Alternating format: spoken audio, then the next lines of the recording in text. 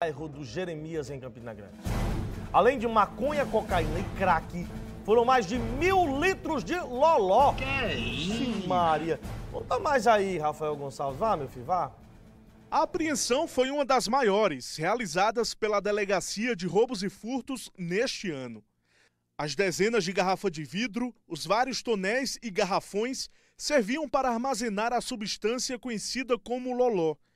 Porções de cocaína, pedras de crack e maconha também foram retiradas de circulação, na operação que aconteceu nas primeiras horas de hoje.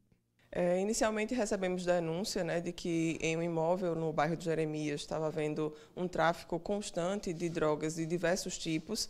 A partir daí, as equipes de investigação passaram a fazer levantamentos, foi feito inclusive um relatório que fundamentou a representação pela busca nesse imóvel. E aí, na manhã de hoje, por volta das 6 horas, foi dado início a essa, foi deflagrada essa operação e realmente, como vocês podem ver, foi encontrado esse vasto material do, da substância vulgarmente conhecida como loló, além de cocaína, crack, maconha, dentre outros apetrechos que confirmam aí o comércio. O homem preso na ação tem 27 anos e não tem passagem pela polícia. De acordo com informações, a droga ficava armazenada nestes tonéis dentro da casa do suspeito, onde ele mora com a esposa e os filhos.